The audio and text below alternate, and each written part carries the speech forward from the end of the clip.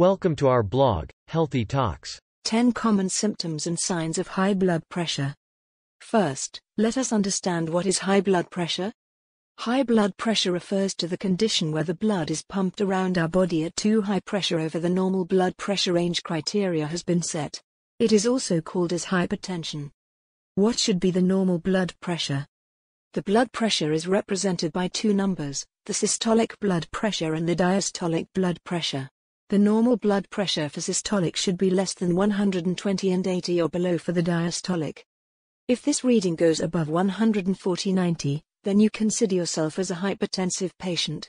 Between 120 and 140 is a pre-hypertensive stage, which can be controlled even by natural measures like exercise, low salt intake, stop smoking, lower cholesterol, eat vegetables etc. How will you come to know that you have high blood pressure? High blood pressure typically has no symptoms at all, that is why we can call it a silent killer. Although there are many coincidental symptoms that are widely believed to be associated with high blood pressure. These include headaches, nosebleeds, dizziness, a flushed face and fatigue. Although people with high blood pressure may have many of these symptoms, they occur just as frequently in those with normal blood pressure. What are common symptoms and signs of high blood pressure that can help to warn us of our health condition?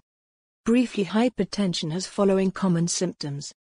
Headache, nosebleed, epistaxis, breathlessness, tinnitus ringing in ears, sleepiness, insomnia, confusion, fatigue, profuse sweating, vomiting, low libido or lack of sexual desire, blurred vision. Usually people ignore high blood pressure. Even those who take medicine, only take antihypertensive medication for short time. Studies have proved that 90% of high blood pressure patients show non-compliance with their medication. If you do not control for your blood pressure it may lead to serious problems with your heart, kidneys, brain, and eyes.